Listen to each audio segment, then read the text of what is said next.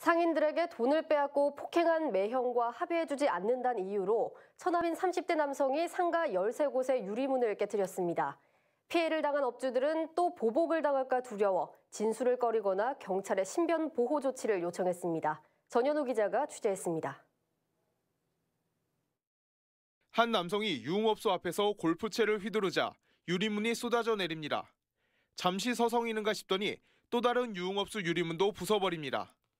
33살 김모 씨가 광주 양동의 유흥가에서 골프채로 유리문을 깨뜨린 건 지난 16일 새벽.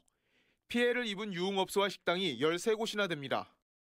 예지스럽게 이제 엉엉엉 뜨다 보니까 다들 사람들도 다 구해줬다고 난리인데 아 좀 있은 게 연락 왔더라고 걔지 물어주려고 여기 다 가죠. 다 우리 집도 이거 완짝하죠. 우리 집도 이제 없어지라고 두드러 깼거든요. 다 깨서 여기 다 여기 짱수 들어가 있다. 양쪽 다.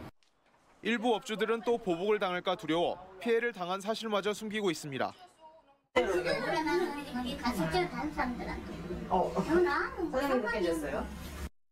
김 씨는 업주들이 매형과 합의를 해주지 않는다는 이유로 범행을 저지른 것으로 조사됐습니다. 조직폭력배인 김 씨의 매형은 업주들에게 2억 2천만 원을 빼앗고 폭행한 혐의로 지난해 12월 구속됐습니다. 내용이 구속돼 가지고 이 업주들이 합의를 안 해주니까 쫓아가서 한 거고 그런 것 때문에 진술 꺼리하고 뭐 신병보호 요청도 하고 그랬어요.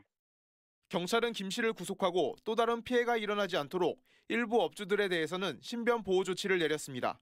KBC 전현우입니다.